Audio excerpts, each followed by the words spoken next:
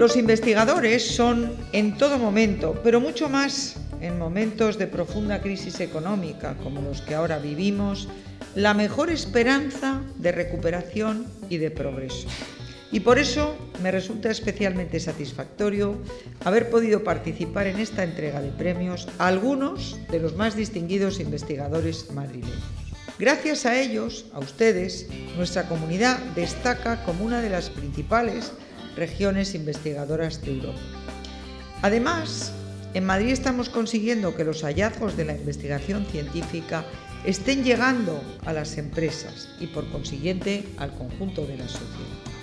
Y eso es precisamente lo que la Fundación Madrid que cumple este año su primera década de existencia, pretende reconocer con estos premios.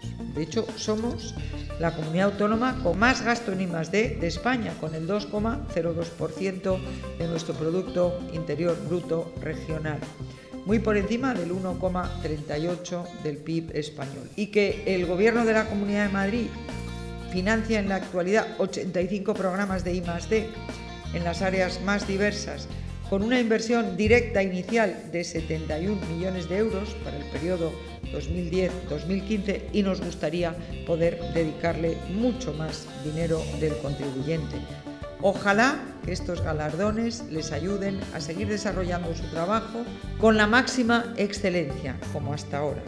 Ustedes son todo un ejemplo para los madrileños. Muchísimas gracias.